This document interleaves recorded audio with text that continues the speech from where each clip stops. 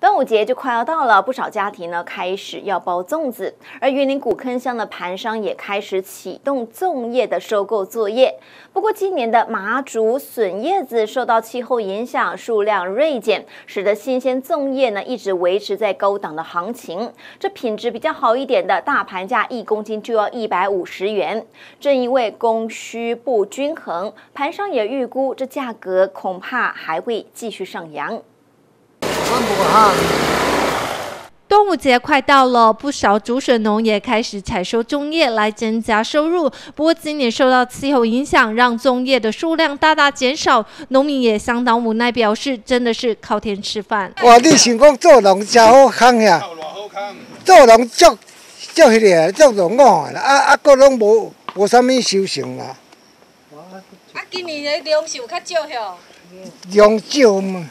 专门包种植用的麻竹叶，最近古坑乡的盘商也开始进行收购作业。盘商沈碧兰表示，受到产量减少的影响下，比较好的新鲜粽叶都有一百五十块左右的价格。他们也预估这个礼拜价格可能会继续上扬。看叶啊，大细叶，啊细叶一定是较少，那小的一一百一百三，哦啊大叶就是差不多一百五左右。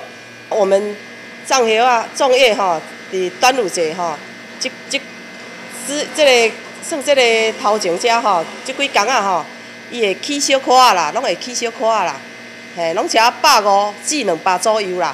虽然包中用的粽叶有干的，还有进口的，不过沈碧兰还是很推荐用新鲜粽叶来包肉粽。沈碧兰表示，用新鲜的粽叶包肉粽，多了一份清香味。现采的新鲜的啊，比较香。